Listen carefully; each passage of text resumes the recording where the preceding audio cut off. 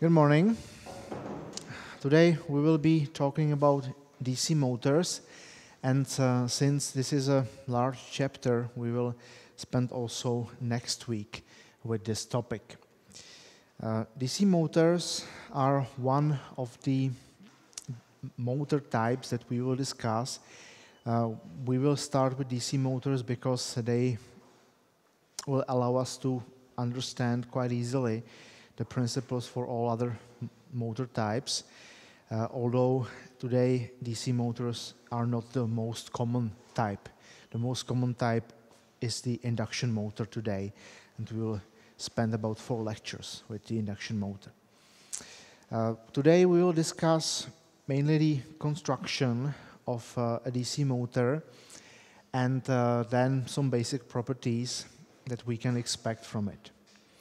Uh, so let's start first with the construction of the DC motor. Uh, on this figure you see the main parts of uh, a DC motor. Uh, of course it is the shaft, but the shaft is not import important from the principle point of view. Uh, then we have the stator magnets. What you see here in, in, this picture is the case of a permanent magnet DC motor. So uh, there are two types. One is with permanent magnets, one will be with field windings. Uh, smaller motors, up to few kilowatts roughly, are uh, designed usually with uh, permanent magnets. So smaller motors have permanent magnets. Uh, larger motors, they have field windings. Uh, the goal of the permanent magnet or of the field winding is to create a magnetic field here uh, that will create the torque. Uh, the second component is the rotor coil and this is a major difference if you compare a DC motor and uh, for example a permanent magnet synchronous motor and induction motor for a DC motor, the coils are on the rotor.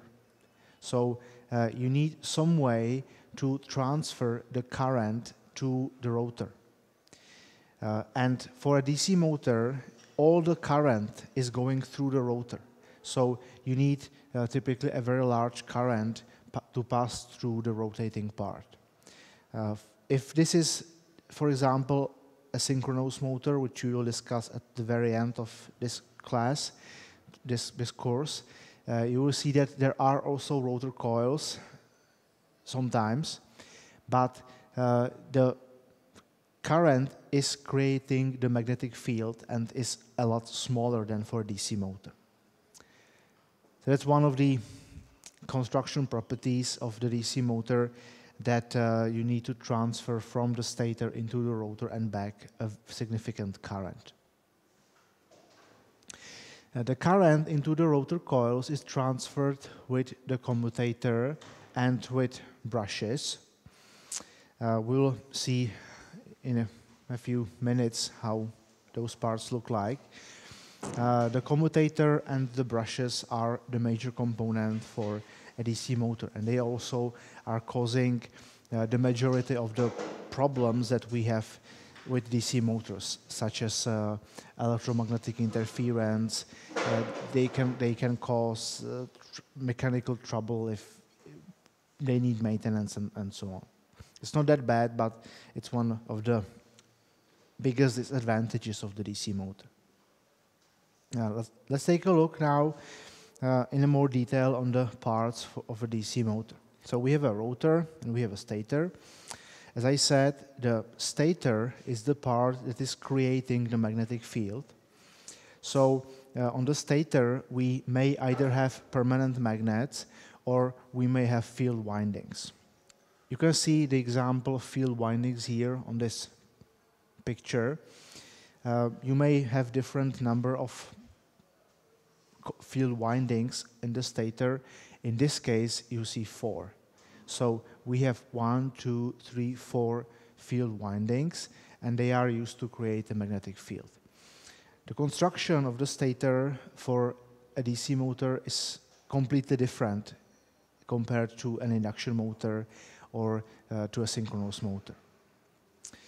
The main goal of the field winding is to create the, the magnetic flux. So we want to create a magnetic flux. If this is created with two coils, it will be uh, a uniform distribution uh, of the magnetic field. If it's four uh, field coils, we will have some other magnetic field shape, as we will see a little bit later. Uh, the materials in the stator need to be ferromagnetic. So the stator is created from iron. And uh, since we are having a DC magnetic flux, the stator does not need to be laminated. So in the case of a DC motor, the stator can be solid iron. The rotor, on the other hand, uh, is rotating, so it sees uh, a variable magnetic flux, and uh, it will need to be laminated. So we will see that uh, the stator is not laminated, rotor is laminated. I have here some example that I will show you later uh, how the rotor looks like. Mm, it's not very visible, unfortunately, here on this picture, but let me just to turn off the light for shortly. Well, it doesn't help at all. Uh, what we should have seen here is the coils in the, in the rotor. Maybe I'll go to this, to this picture. Uh, those are detailed pictures of the rotor, and you see that we have the rotor coils placed uh, in an iron packet. What you see here are individual sections of the coil, so the coil can be, for example, like this, or it can be over more, more slots. And uh, hopefully you can also see that this is not a solid iron, but that it's laminated. I have here some examples of rotors. So uh, a rotor for DC motor can look like this. Uh, you can see that here we have the stator, uh, rotor, iron. We have individual coils that in this case are stretching over about five, five slots. And there are more sections that we have in the, uh, in the ro rotor.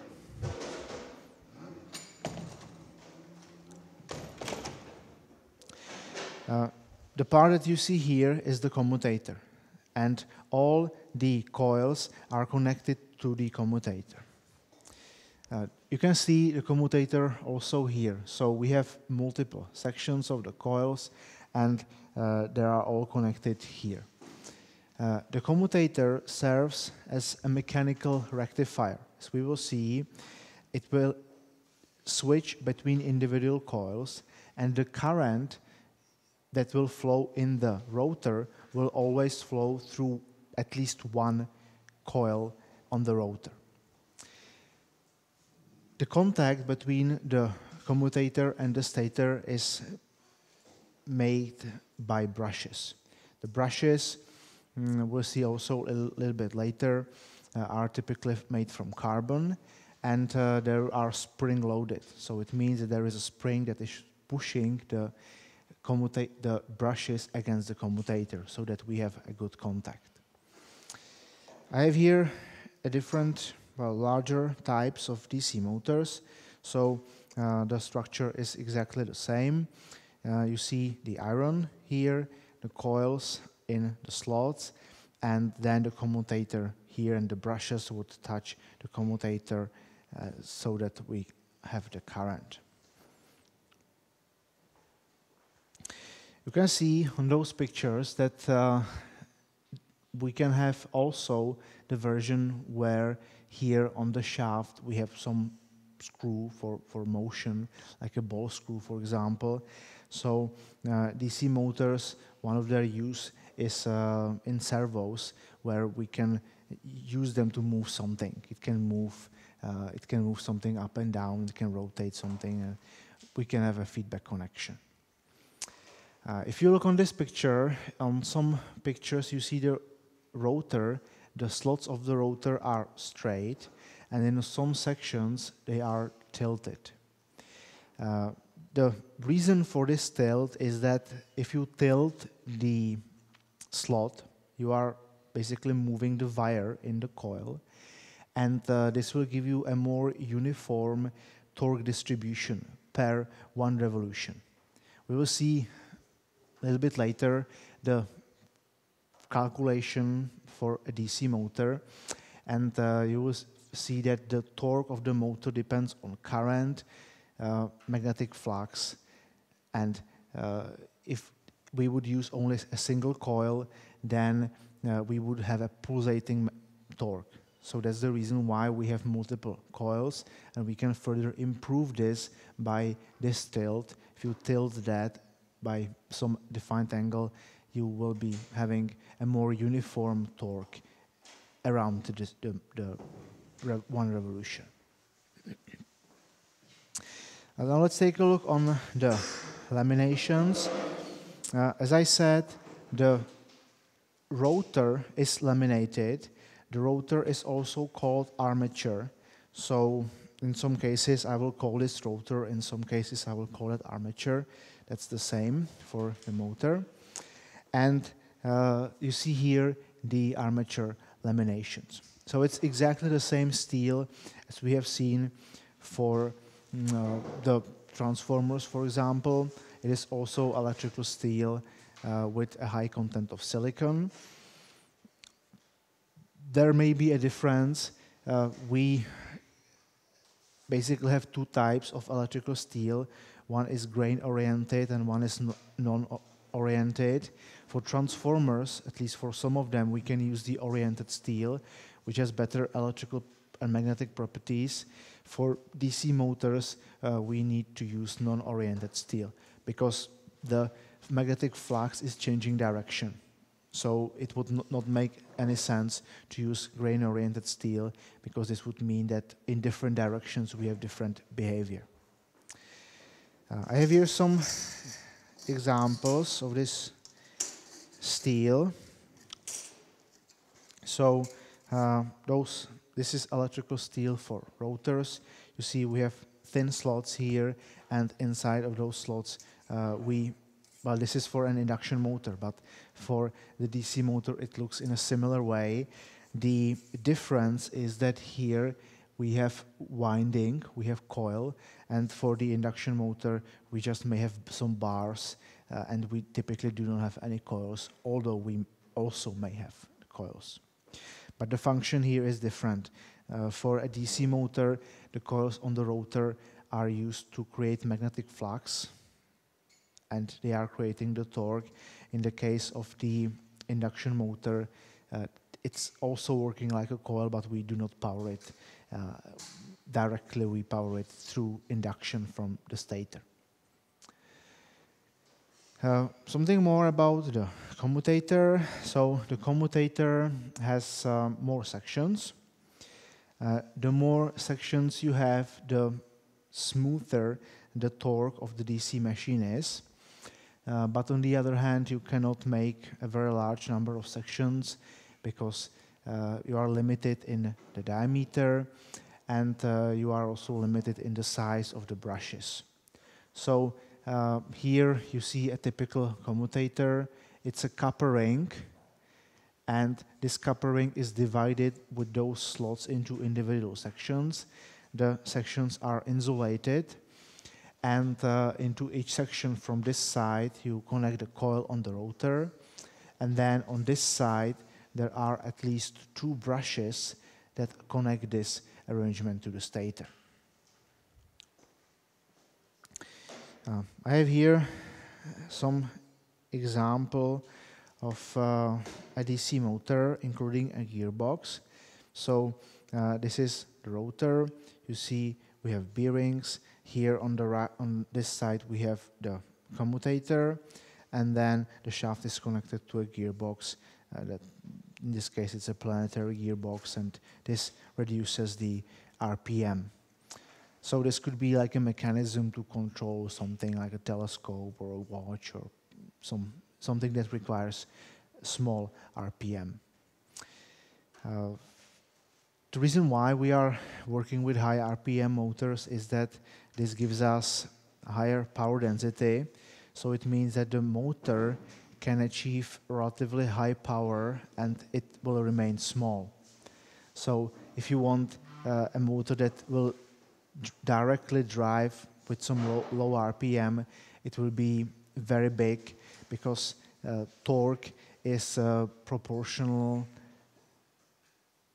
or size of the motor is proportional to torque. So if you build a, a high-speed motor, you have high power, but you have low torque and the motor is small at the end.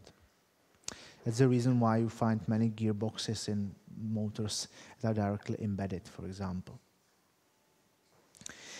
Uh, let's take a more detailed look on the construction of the stator. Uh, here you see an example of a stator with four field windings. So here we have one, two, three, and four field windings. And you see uh, that here those poles are not laminated because it is DC magnetic flux. So it can be solid iron. So now, how does it, how does it work?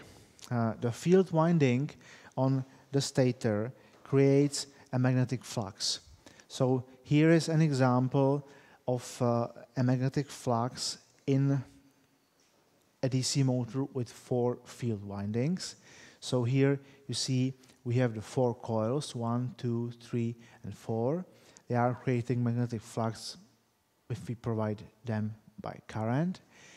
Uh, the magnetic circuit is closed. That's very important.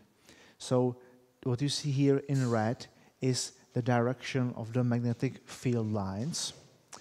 And uh, if the magnetic flux is closed, uh, we will have a significantly larger torque in the machine. So here we have the poles. So we have four poles on the stator. We have four field windings. And then with this, uh, with this uh, frame, the magnetic flux is closed. So for example, if the current is oriented so that here we have a north pole and south pole, the magnetic flux closes like this, like this, like this, and like this. So uh, in this part, we will place the rotor, and in all other pictures that I will show you, I will of course assume that the magnetic circuit is closed. I will not plot it because the pictures would be too complicated, but be sure that it's always closed. If you build a DC motor with an open, or any, any motor with an open magnetic circuit, it will work, but it will have very low torque. So, how does it work? This is the principle of um, a DC motor. And the principle is very simple. We have a wire, we have a current that flows in this wire, and we place this wire inside a magnetic field. Uh, from physics, you know that uh, if we have a wire with current in a magnetic field, there will be a force acting on this wire. So it will try to move the wire away. So this is what happens. Here we have the current. This is a magnetic field, so here it's shown as two permanent magnets, but uh, the magnetic circuit needs to be closed. So there needs to be a frame that is closing the magnetic, magnetic flux. So we have uh, a field strength B between those magnets. Let's say it's oriented in this way. And the current here is oriented in this way. So in this case, there will be the force that will act from bottom to top in this arrangement. And the size of the force can be calculated by this formula. So uh, it depends on the magnetic field strength. So the larger here we have the magnetic inductance, then the larger will be the torque. Uh, it's a vector multiplication, so the direction of the force is perpendicular to the field that it created. And uh, it depends on the current, so the larger the current, the larger the torque and it depends on the length of the wire in the magnetic field. So if you make a longer motor, uh, it will have larger torque because the force will be larger. On the other hand, if you make a larger rotor, longer rotor, uh, you may have problems in mechanics. So you may have a long shaft, you may have problems with uh, with with uh, frequencies and uh, with weight and so on. So what you see here in this picture is this part, we are creating force that is facing up. The current in the coil on the rotor forms a loop. And then on the second side of the coil, we also have a force. So the force in this case, since the current is going in the opposite direction, will be created and will force will face down. So here we have one force up and one force down times the rotor di diameter or uh, yeah, rotor diameter that is known will create the torque that we require. Uh, so this is in the initial position. Let's say the coil is perfectly aligned with the magnetic field.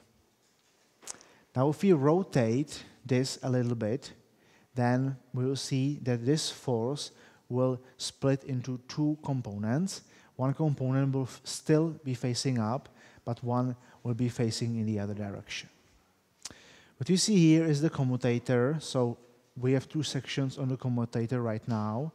And here we have brushes. So the current from the power supply is passing into the brush through the commutator, through the winding, back into the commutator, the second section, through to the brush, and back to the power supply. So this force now starts moving the rotor. So if I have, for example, this position, now the rotor has rotated by some angle, and we see that we still have the wire in the magnetic field, so there is still some component of the force that's facing up and down, of course. But now this force is having a component that is perpendicular to the direction of the current. So this component is F times cosine theta, and theta is the angle of rotation. So uh, we still have some force, but now the force that is creating the torque is smaller. So uh, we had the maximum torque in this position, but here this the torque that was available in the motor has decreased. If I rotate the coil in this position, then the coil is perpendicular to the magnetic field and the force that is creating the current is zero. So if we do not count with inertia in this case, then the motor would stop in this position and would not move uh, back or would not move further. So this is the reason why uh, we need multiple sections in the commutator because we need multiple coils. Also know that in my simplified example here, in this position, here the commutator is shorted with the brushes. So now we do not have any current that will flow through this coil, and that's the second reason why the force is zero. So in a real motor, we definitely need more sections on the commutator, and uh, we will short circuit only the closest coils, since here in this position, uh, it, it's short connection, uh, if this short connection, there will be a large current. So that's not very good. And the size of the brushes needs to match also the size of the sections on the commutator. Uh, however, if you have inertia, then this position will be overcome by the inertial forces. And then you have this position approximately.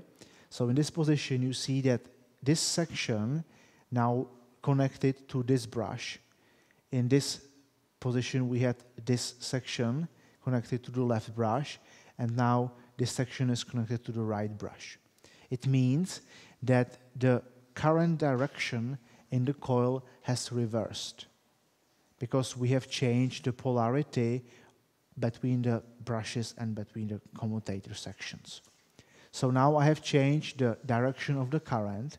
So this means that uh, I have again torque and now I have torque that is acting in the correct direction. If I would not switch the polarity here, I would have a torque that is going backwards and forward and it would not rotate.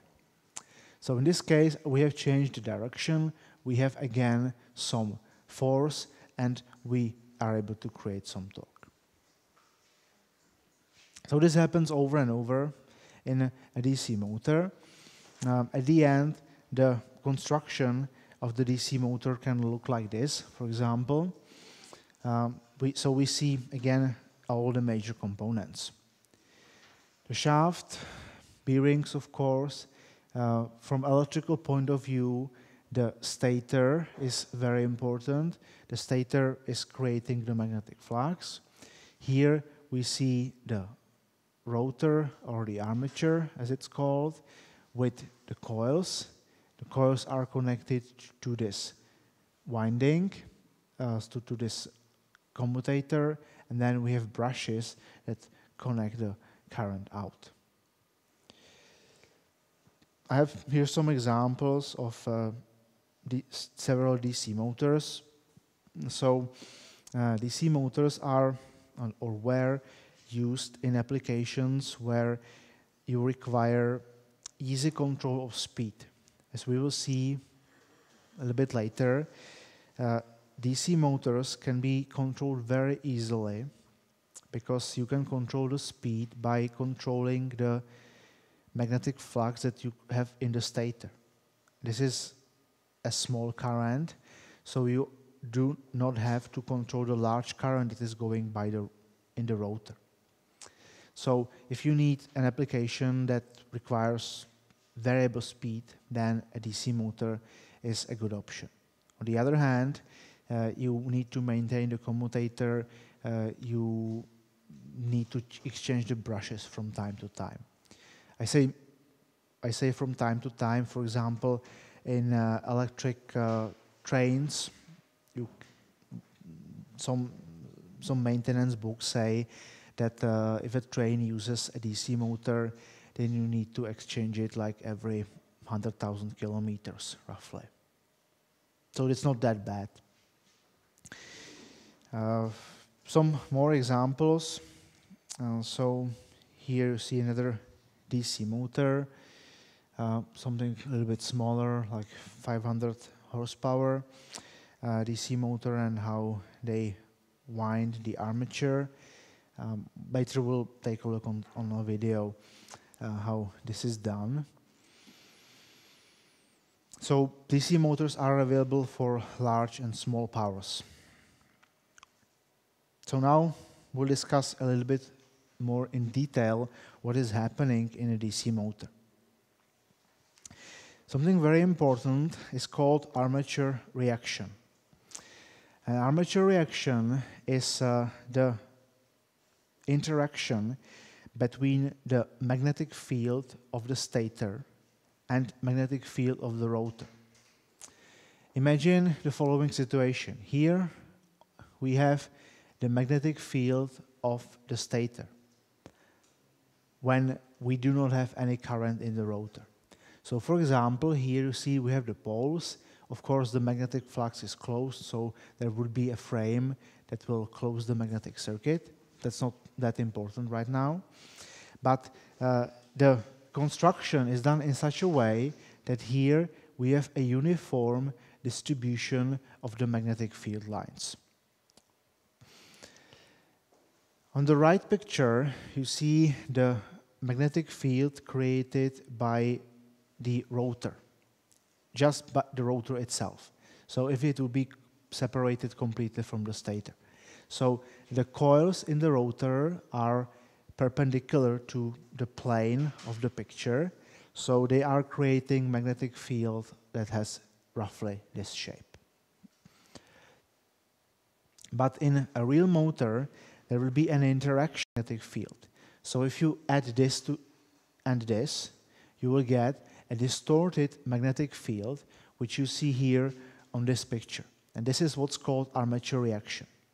It will have an effect on uh, the adjustment of the motor and uh, it will have also an effect on the construction because we want to eliminate the armature reaction. Uh, the armature reaction has uh, the effect that if you have the axis that you, that you see here of the magnetic field, in this case it's vertical.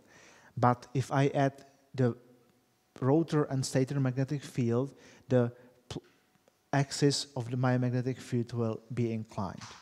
And this inclination will have an effect that uh, during the switching of coils in the commutator, we are not switching zero voltage. And if I'm not switching zero voltage, I will have some sparks on the brushes.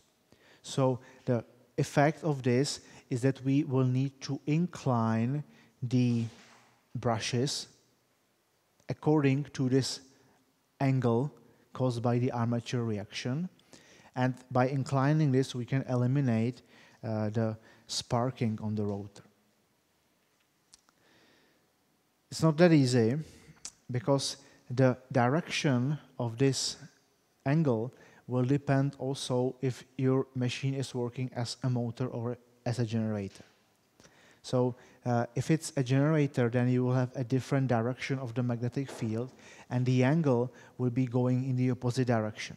So if your motor is switching between motor and generator mode, uh, you cannot completely eliminate this effect. A second effect of the armature reaction is that we will have a distorted stator magnetic field. What you see here is a uniform distribution. So if I would plot this uh, in a chart, you would, you would see that nothing here, then some magnetic field and nothing here again. But if I plot this, plot this here, we will see that there will be a smaller magnetic field here because the two magnetic fields interact, and there will be a different magnetic field here as well. So if we look on the distribution of the magnetic field under the poles, you will see the following result. What you see here is uh, if you take the rotor and stretch it in, in a line. So here is the stator that's stretched. You see this is an example of two poles. And here we have the pole 1 and 2, and here we have the winding. So without armature reaction and in an ideal magnetic circuit without any leakage fluxes, there would be nothing here, and, th and then we would see an increase of magnetic induction, and then it would, would decrease, and then here it will be negative. Now, if we count for the armature reaction, we will need to sum those two fields together and you will see something like this. There is some increase of uh, the magnetic field. Then we want that here we have uh, a flat magnetic induction because magnetic induction gives us the torque. So if it's flat, it means that the torque is not changing in one revolution. Then it's going down. We need to change the polarity of the magnetic field, and then we have a flat section again. So this repeats over and over. If you see here, the brushes are placed in the position where we have zero magnetic flux. And the reason is simple. If you have zero magnetic flux, then if the rotor is aligned in exactly this position, it means that you have zero induced voltage, and this will produce you zero sparking. But if now you add here, you see this picture is the sum of uh, the rotor and stator magnetic field, you see it will be different. Here we have uh, this is the sum, and now this plus uh, the flux from the rotor has created this shape. So we see that it's shifted in one direction, in my case to the right, uh, here you see that the zero magnetic flux is not in this position, where it initially was. So I need to shift the brushes to this point. This is called the neutral axis. So you need to mechanically move the brushes so that you align it correctly. And this will produce no sparking. And what you see here, here and here are, is the effect of saturation. Saturation means that uh, the magnetic flux is limited and cannot be stronger than something. And this is limited by the material properties. So if you use a different material, you may have a larger saturation, but uh, we are limited to something, but let's say like 1 or 1.5 Tesla of the saturation for normal materials. How to work with that? Well, uh, we need to mm, set the position of the brushes in such a way that we neutralize this effect. So one possibility is uh, to mechanically move the brushes, as you see here on this picture. So the brushes can be moved so that they are aligned with the position of, of zero magnetic flux. But as I said, if you would reverse the function to, into a generator, this would shift in the opposite direction. So that's not very convenient because you would need something that detects if it's a generator or if it's a motor and moves mechanically the brushes. Uh, what you can do further is uh, you can connect an additional winding uh, in series to the main pole and this winding will compensate this automatically. So uh, that's what you see here on this picture. We have the main pole that is creating the magnetic flux. We have the armature, and here you have uh, additional poles, and those poles are connected in series to the main pole. So there is the same current that is passing through this main pole. It's perpendicular. So we will have an interaction of the magnetic field from the main pole and from the compensating pole. And uh, if, even if I reverse the direction, we can have uh, this automatically compensated. So if you know that your motor uh, or if your machine will work as a motor only, you can set it manually. If it should work in both quadrants, you should use this or you should buy a motor that has this arrangement. So now we'll take a look on uh, the properties of a DC motor related to power and efficiency. So on the input of a DC motor, you have some current. This current is providing uh, the magnetic field in the stator, but also, and that's the major part, a current in the, in the armature. So on the input, you have uh, the input power that you take from the power supply.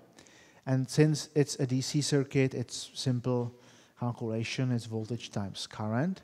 So on the input, you have uh, the input power.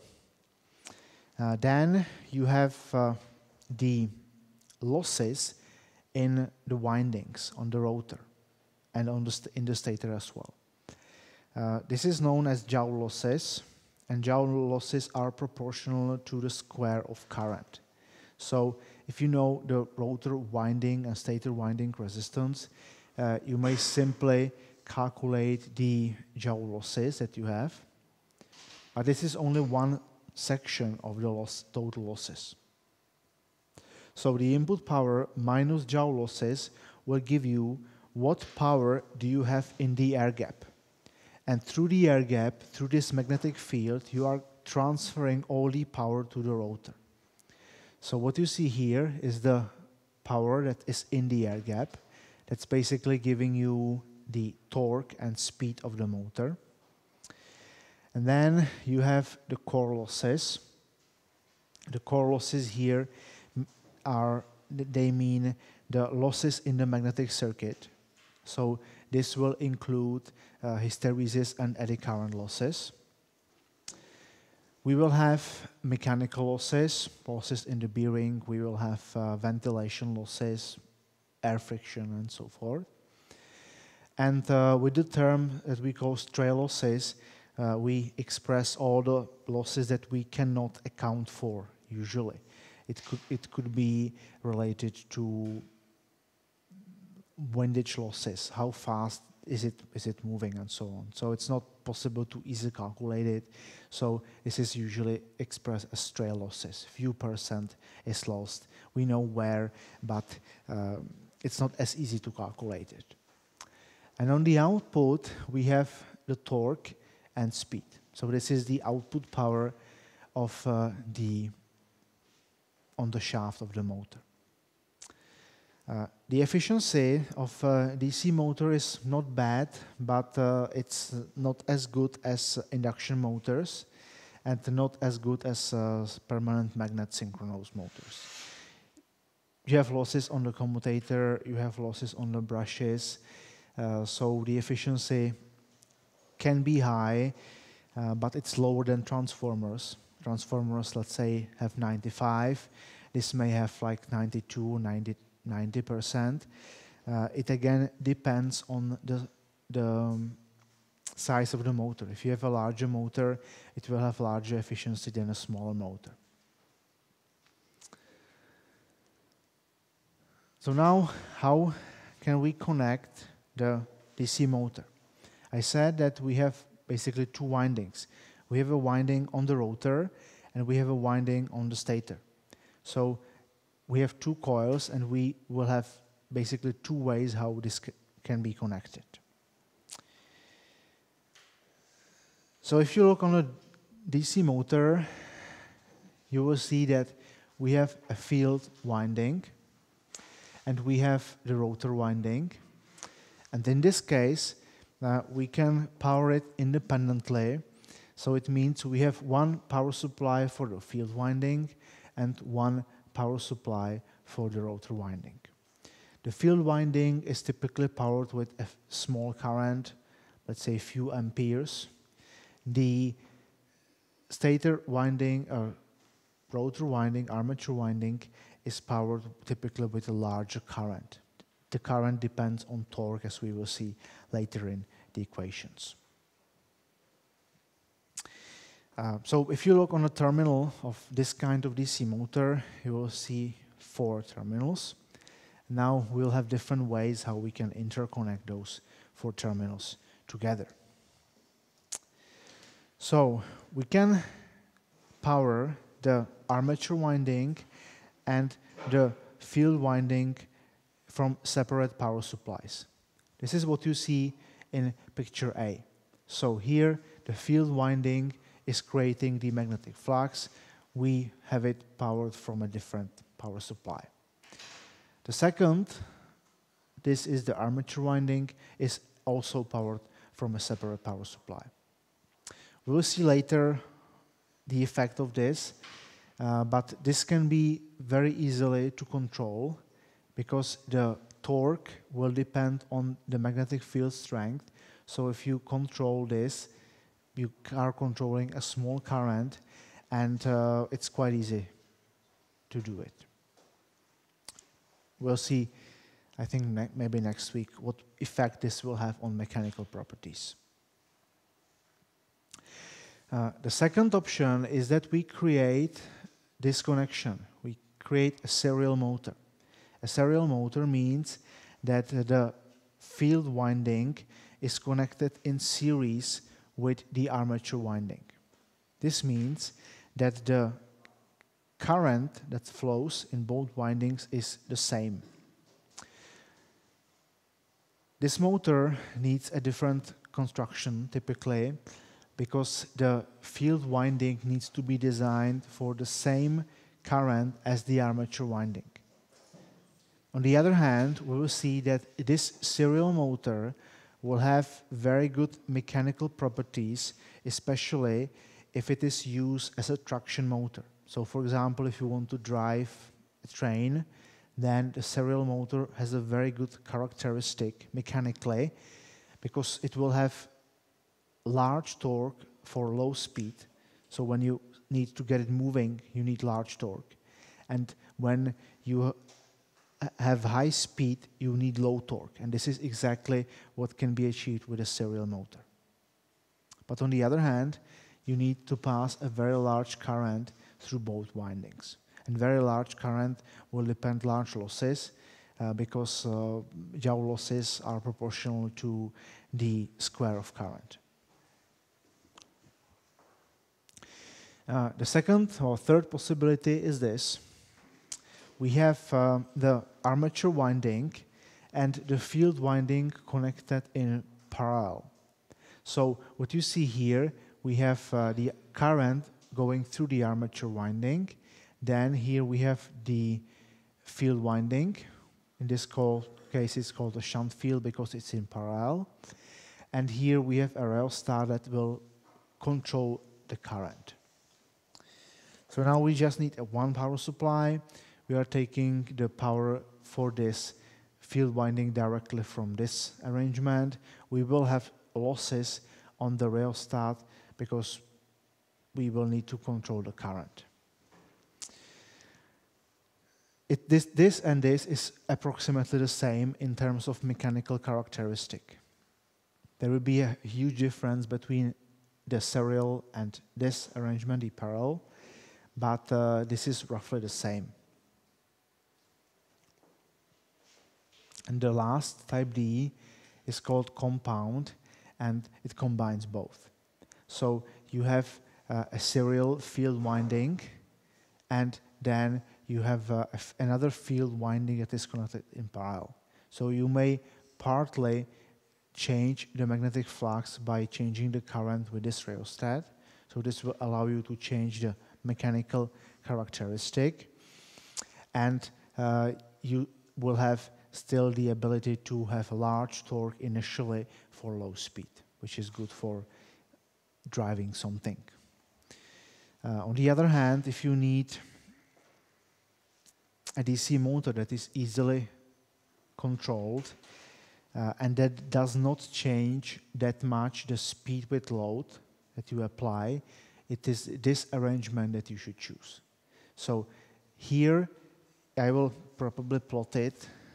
We'll discuss it in more detail next week, but uh, the serial motor has uh, this type of characteristic. This is speed. Well, let's say this is, no, this is torque, and this is speed, and it has this type of characteristic. So for low speed, I have high torque. Uh, but this arrangement, what you see here, is completely different. And if I am applying the torque, the speed is dropping only slightly.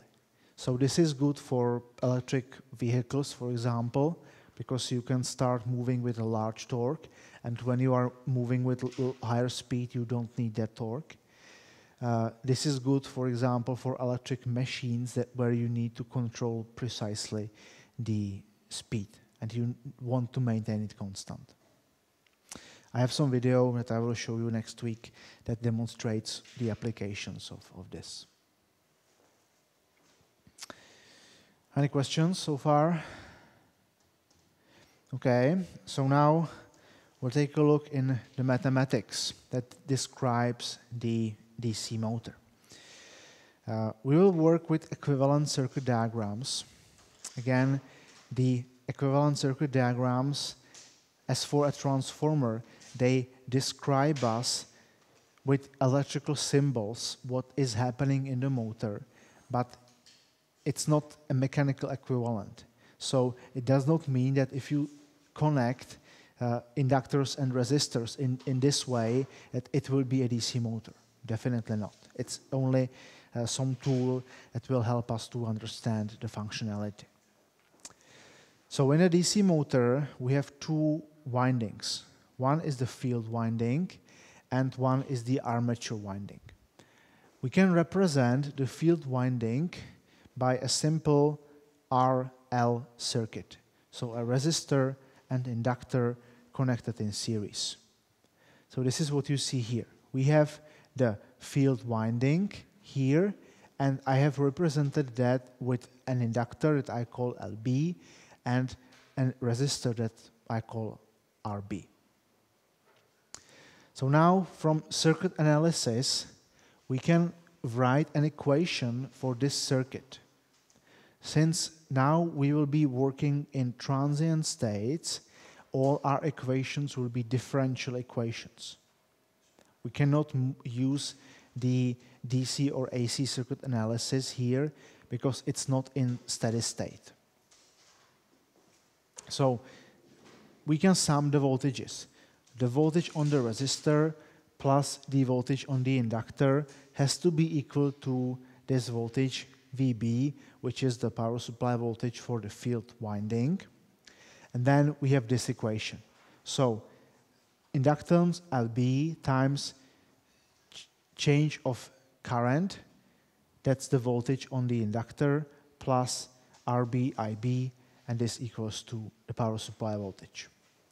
So we have one differential equation that describes the field winding. Now the field winding is creating us a magnetic flux phi, and this magnetic flux is what is creating the torque in the motor. The armature winding will be also represented by an inductor and a resistor.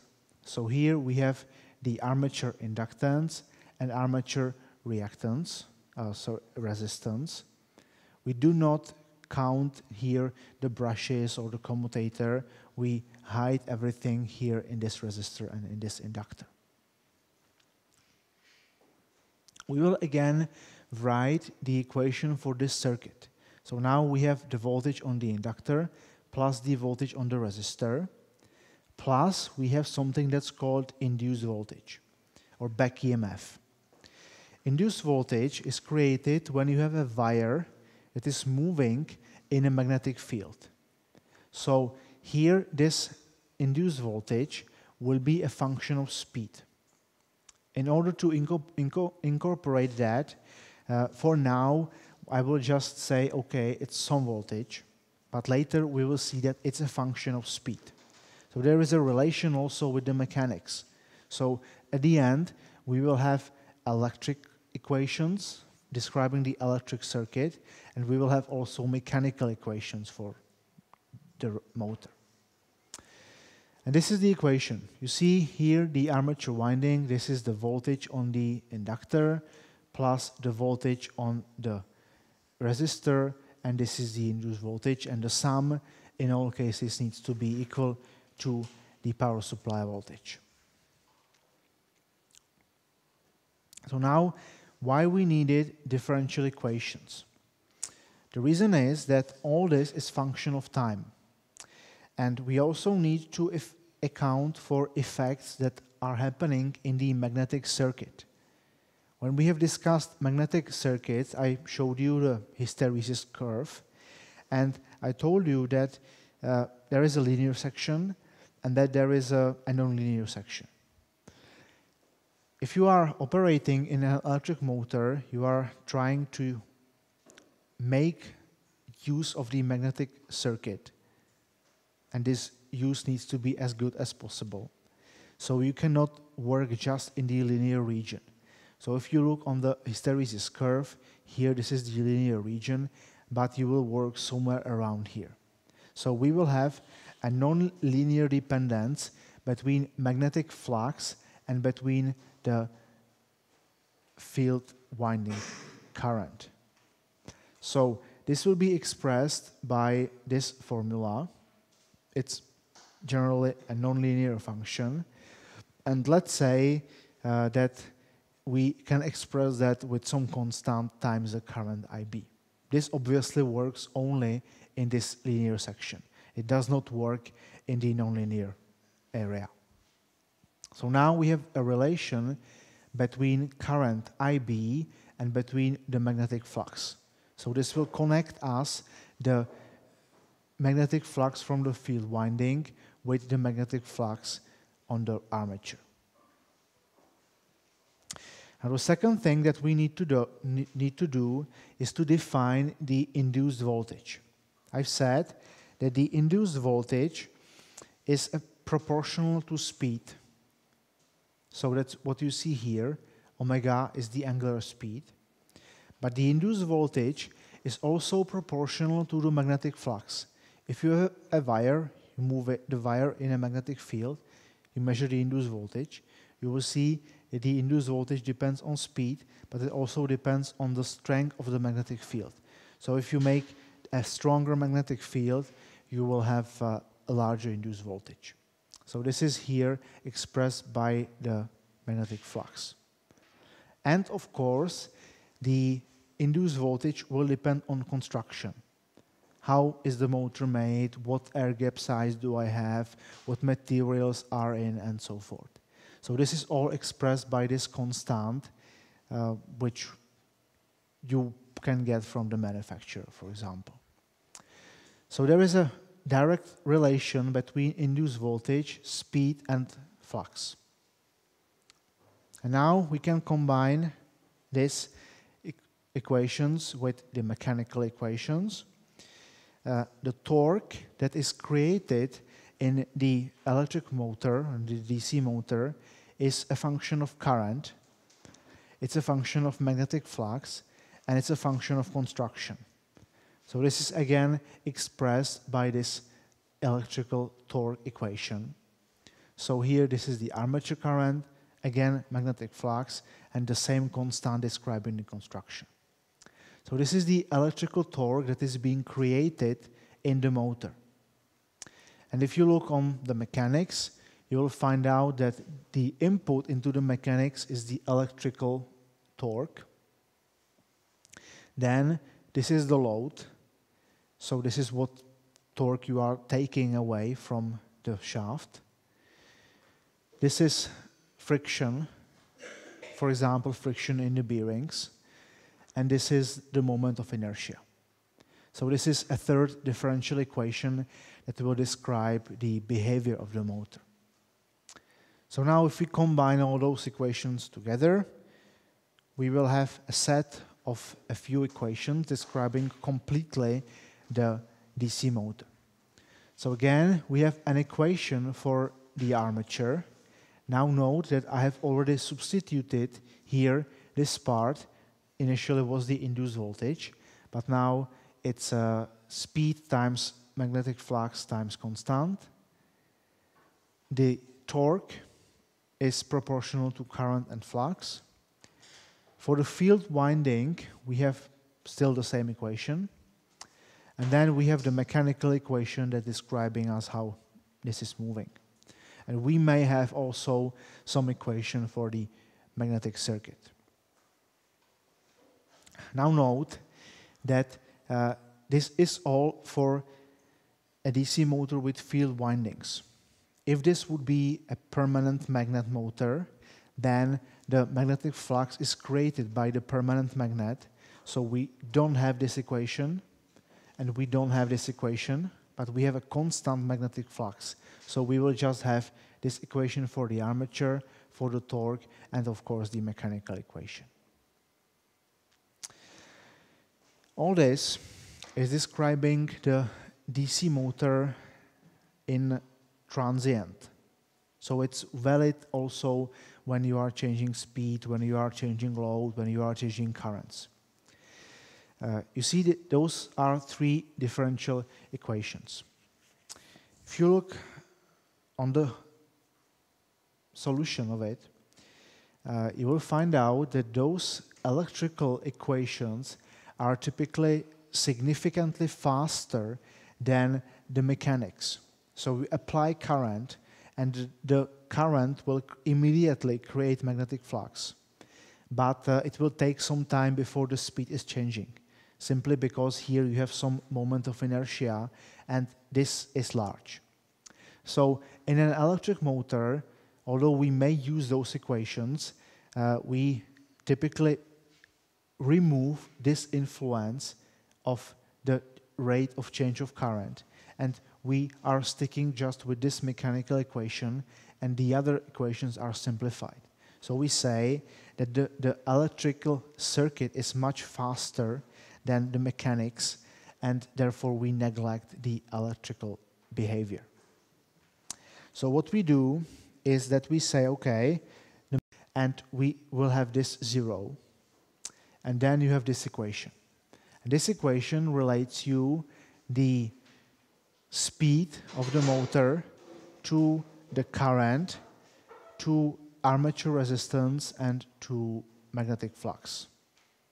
So this is one very important equation. It will allow you to calculate the speed of a DC motor. So we see that the speed for DC motor depends on the power supply voltage. If I use a larger power supply voltage, we will have a larger speed. Here we have armature resistance, and it's power supply voltage minus the voltage on the armature resistance. And uh, by changing the armature resistance, you can change the speed as well. So you are in fact able to connect a resistor in series to this, uh, to this armature and you can increase it and this will decrease your speed. You can also change current if you want to change speed, but this has a drawback. As you see from this equation, the torque is function of current. So if you change current, you are changing torque as well. So if you want to control independently speed and torque, you cannot change current because there is a link between those two. And you can also change the speed by changing the term here in the denominator and uh, you can change it by magnetic flux. So if you have a DC motor with field winding, you can quite easily change the magnetic flux and this will change your speed, but of course it will change your torque as well because again torque is related with flux. So those two equations are quite important and you will need them definitely for calculation in the exam, for example. Now, if we look on the torque speed characteristics, which are quite important for um, designing any devices with motors, uh, we will have basically two types. One type will be called separately excited motor.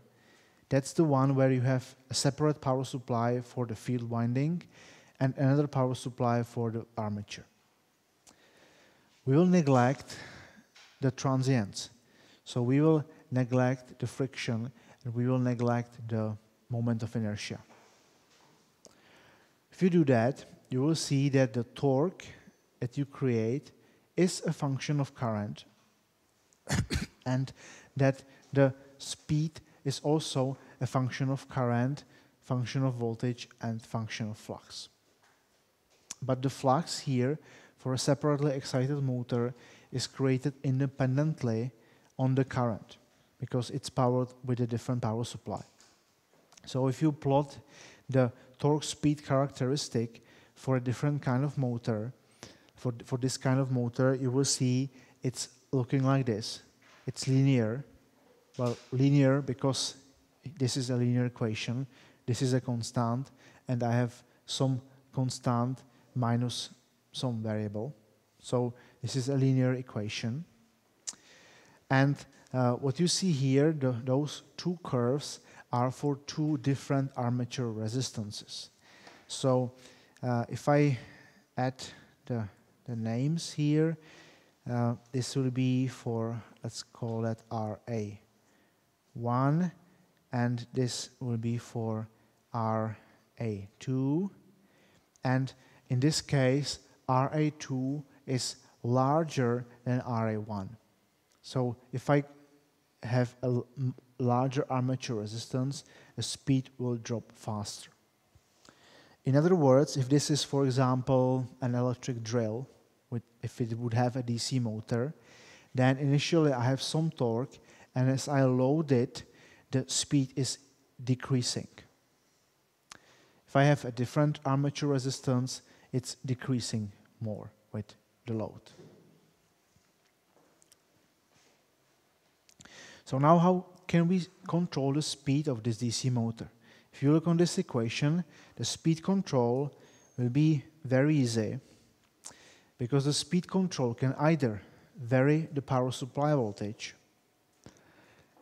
VA, or it can vary the armature resistance, or it can vary the armature current, or it can vary the magnetic flux.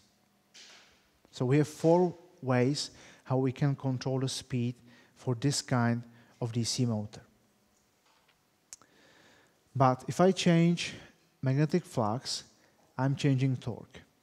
If I change the armature current, I'm changing torque as well. If I change the armature resistance, I'm increasing losses because joule losses on a resistor are R times I squared. So it's possible to add a resistor, but this will increase the losses and this will decrease the efficiency.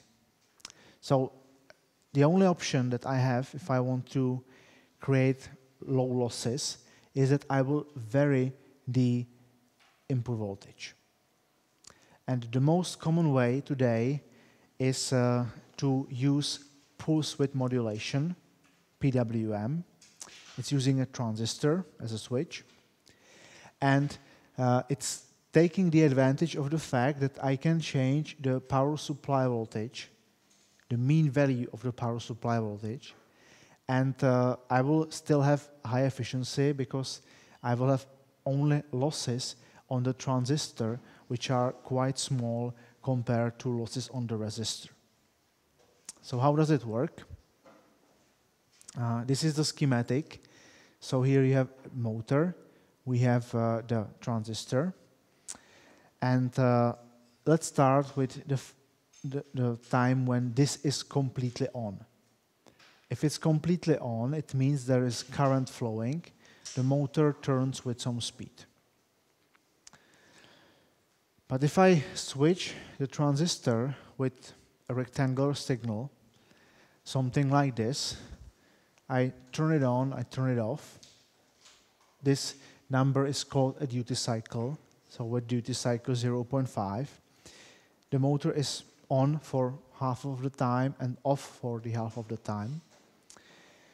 The current in the circuit cannot change instantaneously because uh, it's an RL circuit. And in an RL circuit, the current cannot change abruptly. So uh, we will look on the current and we will see something like this. This is time, this is current and voltage. So my voltage is like this. Those rectangular pulses. And the current will be exponential sections so when it's on, it will increase exponentially. When it's off, it will decrease exponentially, like this. So by changing the width of the pulses, I'm able to increase or decrease the current. So by varying the duty cycle, I'm changing the mean value of current, which is this, and I'm also changing the mean value of the voltage. And if you look on the differential equation, uh, for the electric circuit, which you see, which you see over here. Uh, this has the effect that we are changing basically this power supply voltage. So the advantage of this PWM speed control is that we have low losses because the only losses are here on the transistor and we do not add any resistors. So this is what's, what's uh, used today in all uh, variable speed drives with DC motors. Uh, for example, in Prague, some of the metro lines are using these DC motors. Some uh, other metro lines are using induction motors with frequency inverters, which we will discuss in, in a few weeks. Uh, anyway, this frequency is typically in the audible band. So let's say like 5 to 10 kilohertz, and you can hear it. So that's, that's this sound when the train or tram starts moving, if it's using DC motors. The effect for, for induction motors is exactly the same. And the reason why it's uh, in the audible band is that we are trying to limit the losses on the transistors so that here we are able to cool the transistor down and uh, switching losses for transistor they depend on the frequency so if you double the frequency you basically double the losses on the transistor so it it's technically possible to place it in the above the audible band but uh, it would require cooling and uh, it would have lower efficiency than it is today. Uh, here you see we have a diode. This diode is called a freewheeling diode and uh, it serves to protect the transistor against overvoltage and also to conduct current uh, in the time when this transistor is off. If you see here, this is the voltage that you have on the transistor. If I turn it off, the current needs to flow somewhere. And in this moment, the current is flowing through this freewheeling diode. And if, if it's the case, then if you measure the voltage on the transistor, you will see no spikes at this moment and at this moment. If you would have uh, not the freewheeling diode, the voltage that here is on the drain of the transistor will be typically very large and will destroy the transistor. It's like three, four, five times the, the power supply voltage normally. So this is also a connection for switching inductive loads. So it does not apply only to a DC motor, but in general to any kind of inductive loads. The connection that you see here is fine, but it allows you to control the voltage and motor and the current only in one quadrant. So this can work only as a motor. So it cannot work as a generator if you want to reverse the direction, if you want to go backwards, for example, you cannot use this connection and you will need to use a more complicated connection which we will discuss next week. Questions?